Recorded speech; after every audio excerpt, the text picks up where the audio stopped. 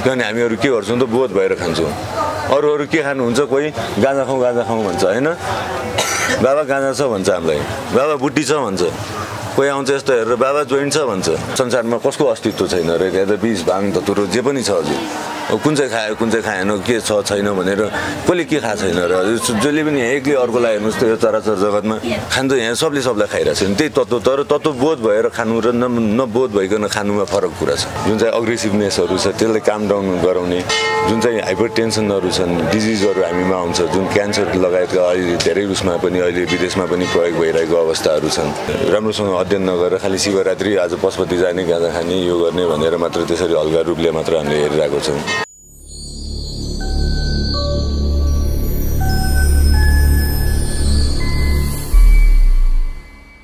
नेपाल भन्ने बित्तिकै एउटा शिवको देश भनेर पनि चिनिन्छ र आज वास्तवमै नेपालको पशुपति क्षेत्र धार्मिक र आध्या- आध्यात्मिक रूपले निकै महत्त्वपूर्ण पनि मानिन्छ। आज विशेष शिवरात्रिको दिन आज विशेष दिनमा छौँ र विशेष दिनमा विशेष मान्छेसँग अन्तर्वार्ता गर्दैछौँ। दर्शक नमस्कार अनि हार्दिक स्वागत सँगसँगै अभिवादन टक्राउन चाहन्छु। सर्वप्रथम म प्रदीप विवश भण्डारीको। यति बेला तपाईँले फ्रेममा देखिरहनु भएको छ योगी नरहरिनाथ बाबाका चेला वेद बेग्रनाथजी हुनुहुन्छ। सर्वप्रथम आज विशेष गरी शिवरात्रिको बारेमा कुराकानी गर्नेछौँ आज पशुपति क्षेत्रमा। के कस्तो माहौल छ त? उहाँले के कसरी बुझ्नु भएको छ शिवरात्रिको बारेमा? उहाँले कसरी व्याख्या गर्नुहुन्छ शिवरात्रिलाई? एक विशेष कुराकानी गर्नेछौँ। सर्वप्रथम सर यहाँलाई स्वागत छ। धन्यवाद आज शिवरात्रिको दिन विशेष त सर्वप्रथम तपाईँलाई शिवरात्रिको शुभकामना दिन्छु। अलिकति ढिला भए पनि होइन? खास शिवरात्रि भन्ने बित्तिकै दिमागमा के कुरा खेल्छ होला तपाईँको वास्तवमै? शिवरात्रि भन्ने बित्तिकै आरादेव आराध्य देव। पशुपतिनाथ जाने भनेर सानैदेखि हामी त अब जहिले पनि त्यो एउटा उसमा माइन्डसेट भइरहेछ शिवको दिन शिव भन्ने बित्तिकै हामी अब काठमाडौँमा हुर्किया भएर होला सायद सिधै पशुपति नै आउँछ होइन? शिवरात्रि भनेपछि चाहिँ त्यहाँ जानुपर्छ त्यो दिन भन्ने नै आउँछ। शिवरात्रि भनेको चाहिँ के होला त? कसरी व्याख्या गर्नुहुन्छ यो कुरा खास? शिवलाई त अब कसरी व्याख्या गर्न सकेला र अब त हजार टाउको भए शेष नागरिक नसकेको कुरा हामीले कसरी सकला म म त व्याख्या गर्न। यो हामी हिन्दूहरूका महान पर्व जस्तै मानिन्छ। शिवरात्रि धेरैले मनाउनुहुन्छ। आज विशेष त पशुपतिमा भिडभाड धेरै हुन्छ। आज भिडभाड पनि हामीले पनि धेरै देख्यौँ होइन? आजको यो दिनलाई चाहिँ कसरी हेर्नुहुन्छ? हजुरले चाहिँ यो स्थानमा बसेर यहाँ बाबाको योगी योगी नरनाथजीको चेला तपाईँ धेरै कुराहरू सिक्नु भएको छ धर्मको बारेमा धेरै कुराहरू बुझ्नु भएको छ। आजको दिनलाई चाहिँ कसरी हेर्नुहुन्छ यहाँ तपाईँले? यो आजको दिन भनेको विश्वभरिको विश्वभरि जगत जगतले नै एनर्जी गेन गर्न सक्ने दिन हो। अब योगको हिसाबले हेर्नुहुन्छ भने किनभने शिवरात्रिको दिन भनेको च्यानल मिल्ने दिन हो। यो सबै त यो ग्रह नक्षत्र हाम्रो यो उहरू छन्। होइन हाम्रो धर्मशास्त्र त सायद त्यसरी गएको छ। होइन त्यसलाई हामीले राम्रोसँग अध्ययन नगरेर खालि शिवरात्रि आज पशुपति जाने गाँजा खाने यो गर्ने भनेर मात्र त्यसरी हल्का रूपले मात्र हामीले हेरिरहेको छौँ। होइन यो त त्यो कस्मिक एनर्जीसँग यो हाम्रो बडीहरू च्यानलाइज हुने दिन हो। किनभने यो त सबै ब्रह्माण्ड त घुमिरहेको छ नि। त्यो च्यानलाइज हुने दिन ठ्याक्क सबै ग्रह नक्षत्र मिलेर यो दिन त वर्षमा एकचोटि आउने दिन हो।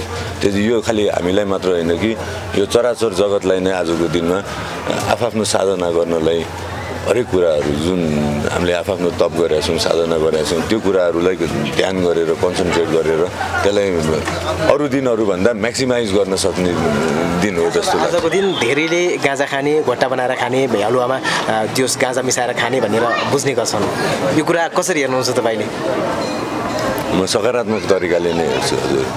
किनभने त्यसले हाम्रो कति ब्रेन सेल्सहरू हुन्छ जुन खोलेको हुन्छ जुन चाहिँ हाम्रो ब्रेनको सेल्सहरू कति छन् टु पोइन्ट समथिङ पर्सेन्ट मात्र चलिरहेछ। तर जुन यो गाँजाको उसले त्यो ब्रेन सेल्सहरूलाई खुलाउने काम पनि गरिरहेको हुन्छ जुन चाहिँ अध्यात्मसँग रिलेटेड कुराहरू हुन्छ। त्यो सेल्सहरूलाई खुलाउने र त्यसले एकाकार हुने कस त्यो बाहिरी जुन आक्रामक शैलीहरू छन् हाम्रो जुन चाहिँ अग्रेसिभनेसहरू छ त्यसलाई काम डाउन गराउने जुन चाहिँ हाइपर टेन्सनहरू छन् डिजिजहरू हामीमा आउँछ जुन क्यान्सर लगायतका अहिले धेरै उसमा पनि अहिले विदेशमा पनि प्रयोग भइरहेको अवस्थाहरू छन्।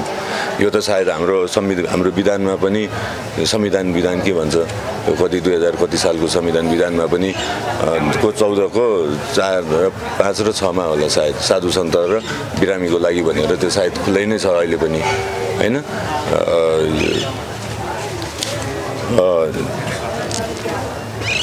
त्यो कुराहरूलाई चाहिँ हामीले एकदम उ गर्नुपर्छ ध्यान दिनुपर्ने कुराहरू हुन्। यसले चाहिँ बेफाइदा भन्दा पनि हामीले मैले चाहिँ त्यसरी हेर्ने गरेको छु यसलाई। ब्रेन क्षेत्रमा हजुर बस्न थालेको कति भयो यो ठाउँमा? सात वर्ष। सात वर्ष होइन?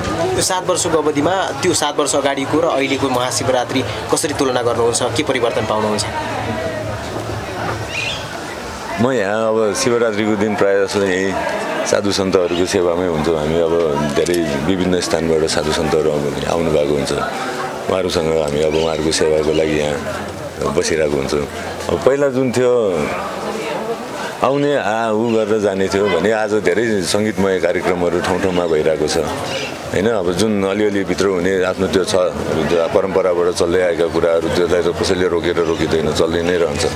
त्यसलाई ठुलो बनाउनु पर्ने कुनै इस्यु पनि होइन खास मेरो हेर्ने हो भने। होइन?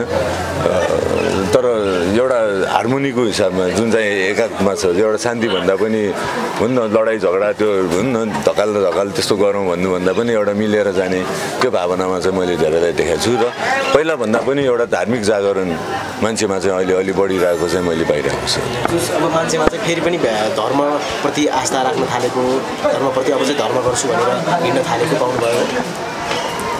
धेरै युवाहरूमा मैले अहिले त्यो पाएको छु हजुर। मसँग त सायद तपाईँहरूकै उसले होला सायद धेरै युवाहरू नै मसँग धेरै सम्पर्कमा हुनुहुन्छ गर्नुहुन्छ? यो परिवर्तन चाहिँ यो कारणले हो है भन्ने कुराहरू? अब परिवर्तन समयले लिएर आयो हजुर। किनभने आवश्यकता सायद अब यसैको पर्यो। जुन चाहिँ हामी भौतिकका निमित्त आज गइरहेछौँ आज हामी हरेक नेपालीले पनि आज विदेश देखेका छौँ। हामी हरेक विदेशमा गएका छौँ। तर त्यहाँ गएर हामीले के पायौँ त? त्यहाँ गएर दुःख पाएका हामीले त्यहाँ गएर सुविधा पाएका छैनौँ। यहाँ आएर हामीले आफ्नो राज्यमा के गर्न नसक्ने विडम्बनाले पीडाले गर्दाखेरि फेरि विदेश जान विदेश पलायन हुन हामी बाध्य भइरहेका छौँ। होइन? यी कुराहरूलाई व्यवस्था गरिदिने हो भने यी सबै कुराहरू सायद हार्मोनीमा मिलेर जान्छ जस्तो लाग्छ। धर्म पनि भयो। महाशिवरात्रि भनेपछि हामी सबैले लगभग विगत एक हप्तादेखि नै तयारी थाल थाल्छौँ होइन? अब एक हप्ता पछाडि चाहिँ महाशिवरात्रि आयो अब भव्य तरिकाले मनाउनुपर्छ भन्ने ठान्छौँ। खास महाशिवरात्रिको लागि यहाँ तपाईँहरू जो बाबाहरू बसिरहनु भएको छ यसरी ध्यान गरेर बस्नुहुन्छ तपाईँहरू होइन? तपाईँहरूले चाहिँ के तयारी गर्नुहुन्छ यो महाशिवरात्रिको लागि विशेष त? जो हामी यहाँ स्थानमा छौँ जस्तो मेरो गुरु महाराज यहाँको महन्त महाराज भइबक्सिन्छ अब गुरुको सेवा हामी अब अनुसारै अब जसरी भारतको विभिन्न स्थानहरूबाट नाजीहरू आउनुहुन्छ। यो यहाँ चाहिँ अब यो गोरखनाथको स्थान भएको भएर भारतको स्थानहरूबाट लगायत अब यो अहिले ब्राजिलबाट पनि धेरै नाजीहरू बनाएका छन् रसियाबाट यस्तै यो कान्छिरेर गोरखनाथ सम्प्रदायमा जोइन गर्नुभएको छ। अनि विशेष गरेर चाहिँ उहाँहरू चाहिँ यही शिवरात्रिको पर्व पारेर नै यहाँ चाहिँ आउनुहुन्छ। त्यसको उहाँहरूलाई व्यवस्था गर्ने यहाँ बस्ने खाने अब व्यवस्थाहरूमा चाहिँ हामी जुटिरहन्छौँ खास अब आजको दिन यहाँ भिडभाड छ माहौल तातेको छ नाचगान भइरहेछ सबै रमाइरहेछन्। बाबाहरू बसिरहनु भएको छ होइन? अब खानेहरूले गाँजा पनि खाइरहनु भएको छ त्यो अन्यथा पनि लिनु कुरो भएन। आजको दिन र अब भोलि चाहिँ के हुन्छ त यहाँ अब आजको दिन त यहाँ ठुलो तातिरहेछ भोलिको दिनलाई र आजको दिनलाई कसरी तुलना तुलना गर्नुहुन्छ तपाईँले चाहिँ? आजको दिन शिवरात्रिको दिन अब जति यो हुल छ। यो फेस्टिभल सकेपछि भोलिदेखि फेरि यहाँ के हुन्छ त खालि प्लास्टिक र फोहोर मैला मात्र बाँकी हुन्छ। बरु त्यसलाई चाहिँ हामी सबै मिलेर कसरी सरसफाइ गर्ने त्यसलाई बरु टिपेर कसरी घर लिएर जाने होइन? यो कुराहरूमा ध्यान दिनुपर्छ जस्तो लाग्छ। हामीले अब शिवरात्रि भनेपछि विशेष अहिले जसरी मनाइरहेछौँ यही नै जसरी राम जसरी मनाइरहेछौँ यही नै राम्रो हो। यसरी नै हामीले सधैँभरि मनाइराख्नुपर्छ भन्ने धारणा राख्नुहुन्छ कि? होइन यसलाई चाहिँ अलिकति परिवर्तन गरेर यसरी मनाउनुपर्छ भन्ने केही सोच्नु भएको छ तपाईँले त्यस्तो केही कुराहरू? परिवर्तन गर्ने गराउने हामी को हो। र त्यो त समयले गराउँछ। समयको माग अनुसार। आज हेर्नुहोस् न समय छ समयको मागले गर्दाखेरि आज हेर्नुहोस् त त्यहाँनिर शिवकै भजन छ तर ट्रान्स शैलीमा छ शिवको भजन छ। आज अरू ठाउँमा जुन भजनमा बरु त्यहाँ चारजना बसेको हुनुहुन्न तर त्यो भजनमा हेर्नुहोस् त सबै युवाहरू आएर उफ्रिराख्नु भएको छ। तर त्यहाँ के भइरहेछ त ट्रान्समा भइरहेछ तर शिवको नाम आइरहेछ। त्यहाँ हिपहपमा भइरहेछ तर शिवको नाम भइरहेछ। होइन? त्यहाँ भजनै पनि भइरहेछ त्यो शिवको नाममै भइरहेछ। अब जसलाई जस्तो आवश्यक छ जुनलाई किनभने हामी सबै एउटै छैनौँ हाम्रो आहार व्यवहार एउटै छैन विभिन्न छ। किन सबलाई एउटै मनपर्छ भन्ने छैन। सबलाई विभिन्न विभिन्न कुराहरू मन परेरै आज हामी यो चराचर जगत मिलेर बसेका छौँ। चार जात छत्तिस वर्ण मिलेको छ। होइन? अब यी कुराहरू बुझ्न यसमा अध्ययन गर्न चाहिँ जरुरी छ जस्तो लाग्छ। हामी सब मिलेर यो विषयमा छलफल गरेर होइन? यसलाई चाहिँ इस्यु बनाउने होइन कि? यसलाई समाधान गर्नेतिर यसले गर्दाखेरि चाहिँ देशको उन्नति गर्नेतिर हामीले लान सकिन्छ कि? यही कुरालाई आज बस बनाएर त गरेर एउटाको मुख कालो अलिकति अर्कोको मुख कालो दल्नुभन्दा होइन बरु यसलाई नै यसले चाहिँ हाम्रो राष्ट्र आज विदेशमा आज लिगल गरेर लगिरहेको छ। भनेपछि यही कुराहरूलाई एउटा बस बनाएर राष्ट्रले एउटा कोही ठेकदारको अथवा कोही व्यापारीको लागि उन्नति हुने होइन कि यो समग्र राष्ट्रको निमित्त उन्नति हुनका निमित्त त त्यस्तो कर्म गर्न सकिन्छ होला नि त। हो त्यस्तो नीति बनाएर सायद अगाडि बढ्दाखेरि राम्रो हुन्छ कि। यसलाई इस्यु बनाउनु भन्दा पनि। यो इस्युको कुरा होइन। यहाँ संसारमा कसको अस्तित्व छैन र यहाँ त बिस भाङ धतुरो जे पनि छ हजुर। कुन चाहिँ खायो कुन चाहिँ खाएन के छ छैन भनेर कसले के खाएको छैन र जसले पनि एकले अर्कोलाई हेर्नुहोस् त यो चराचर जगतमा कसले कसलाई खाएको छैन? सबले सबलाई खाइरहेकै छ यहाँ। सबको मुख छ हेर्नुहोस् यहाँ नभए के छ पानीमा पनि हेर्नुहोस् आकाशमा उडेको अर्को हेर्नुहोस् रुखको हेर्नुहोस् सबले सबलाई खाएको खाइ छ यहाँ। खान्छ यहाँ सबले सबलाई खाइरहेको छ त्यही तत्त्व तर तत्त्व बोध भएर खानु र न नबोध भइकन खानुमा फरक कुरा छ। शिवले पनि त बिखै खाएको थियो नि नीलकण्ठ भनेको छ उहाँलाई तत्त्व बोध थियो। यो त हामी केबाट बनेको छौँ? त्यही पञ्चतत्त्वबाट बनेको शरीर त हो यो। जुन यो प्रकृतिमा पनि त त्यही पञ्चतत्त्वबाट यही पृथ्वी तत्त्व जे छ यो बाहिर जे छ त्यो हामी शरीरमा छ। तर त्यसलाई बोध भएर त्यसको सेवन हुनु र बोध नभइकन सेवन हुनुमा फरक कुरा छन्। त्यही भएर सायद हिजो साधु सन्तका निमित्त छोड्नुपर्छ भन्ने कुरा छ किनभने हामीहरू के गर्छौँ त बोध भएर खान्छौँ। अरू अरू के खानुहुन्छ कोही गाँजा खाउँ गाँजा खाउँ भन्छ होइन? बाबा गाँजा छ भन्छ हामीलाई। बाबा बुट्टी छ भन्छ। कोही आउँछ यस्तो हेरेर बाबा जोइन्ट छ भन्छ। होइन? हामी त त्यो खाँदैनौँ नि हजुर। हामीले त बुट्टी खान्छौँ। किन हाम्रो मेन्टल स्टेट हामी त्यसलाई बुटीको रूपमा हामीले सेवन गरेका छौँ।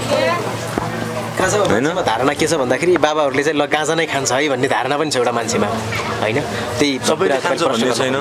तर अधिकांश मान्छेले सोच्ने। धारणा सोचाइ चलिरहेछ नि त सबैमा यो हाम्रो कल्चरमै आजबाट होइन कि यो हाम्रो परम्परामा नै सनातन समयदेखि नै चल्दै आएको छ हिजोको दिनमा पनि यो कुरा समाजले खाने होइन साधु सन्तले नै सेवन गर्थ्यो होला। र साधु सन्तहरू कहाँ बसेर सेवन गर्थ्यो? वनमा बसेर गर्थ्यो आफ्नो मठ मन्दिरमा बसेर उहाँहरूले सेवन गर्थ्यो।